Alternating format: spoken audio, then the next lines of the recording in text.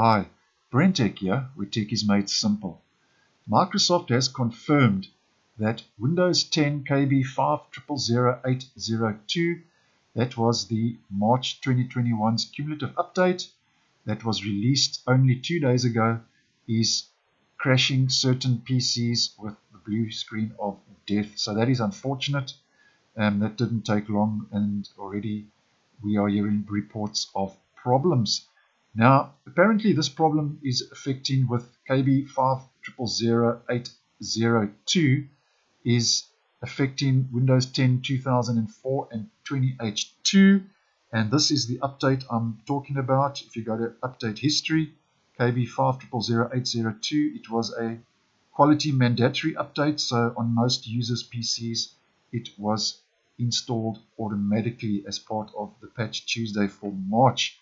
Now, apparently um, the problem is is when users are printing to certain uh, printers, namely Ricoh, Zebra, and others, and uh, a APC index mismatch error with a blue screen of death um, is popping up when attempting to print to certain printers in some apps.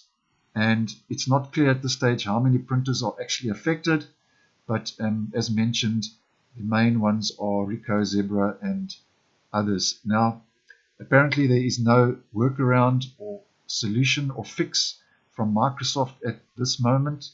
Um, they have um, confirmed there is a problem with certain printers, but there is no fix. But the good news is that if you are one of the unfortunate users to have this um, error popping up and causing problems on your uh, Windows 10 PC, you can just go in view update history in Windows Update. You can go uninstall updates and you scroll down to the bottom where it says Microsoft Windows and you can see a KB 5000802. You just click on it and then you just go uninstall and that will remove it from your PC for the time being and your PC should return back to normal without those problems after uninstalling the update and then we just hope that Microsoft brings out a fix um, as soon as possible to fix this, this uh, blue screen of death error that is happening with the recent Patch Tuesday update.